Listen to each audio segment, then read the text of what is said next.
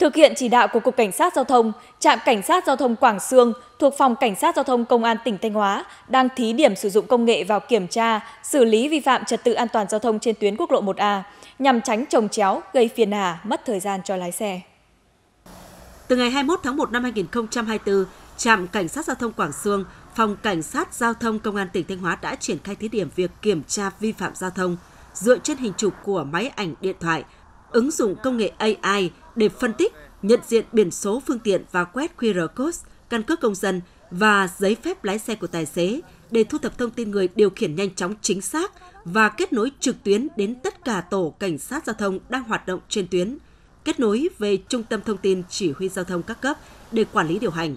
Qua ứng dụng này, các tổ cảnh sát giao thông nhanh chóng xác định phương tiện đã được kiểm tra trước đó hay chưa, thời gian địa điểm kiểm tra để quyết định có thực hiện dừng phương tiện kiểm soát hay không, trừ các trường hợp phát hiện vi phạm trực tiếp. Điều này sẽ hạn chế việc dừng một phương tiện nhiều lần, liên tục, gây phiền phức, mất thời gian của nhân dân.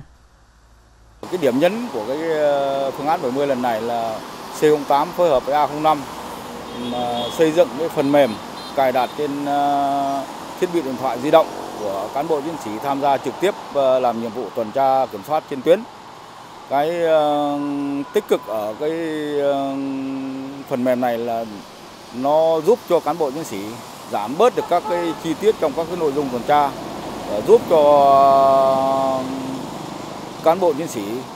đánh giá được cái phương tiện để từ đó để tránh những cái kiểm tra trồng chéo.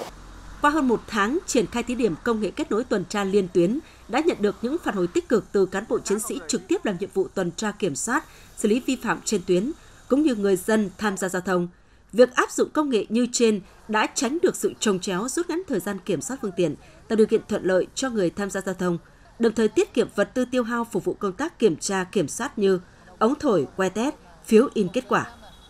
Từ cái phần mềm này cũng giúp cho lực lượng cảnh giao thông ờ, chúng tôi ờ, xác minh được cái thông tin từ căn cước công dân cho đến ờ, giấy tờ pháp lý, giấy tờ liên quan đến phương tiện được nhanh chóng thuận tiện, giảm bớt cái thời gian mà thực hiện nhiệm vụ. Và cái ờ, tích cực hơn nữa là ờ, lực lượng cảnh sát giao thông trên tuyến xác định được lộ trình tuyến đường mà phương tiện đã đi qua ờ, kiểm tra được nhiều chặt chẽ hơn những cái phương tiện mà có cái dấu hiệu vi phạm. Trong khi chờ đợi Cục Cảnh sát Giao thông nghiên cứu xây dựng app liên quan đến lĩnh vực giao thông như tra cứu thông tin về tình hình giao thông, tra cứu thông tin vi phạm, nộp phạt trực tuyến, phản ánh vi phạm giao thông cho cơ quan chức năng xử lý kịp thời, Phòng Cảnh sát Giao thông Thanh Hóa sẽ tiếp tục chỉ đạo trạm Cảnh sát Giao thông Quảng Sương áp dụng các hiệu quả công nghệ thông tin trong tuần tra kiểm soát, đảm bảo khách quan minh bạch, tránh tiêu cực, góp phần nâng cao ý thức chấp hành pháp luật của người tham gia giao thông.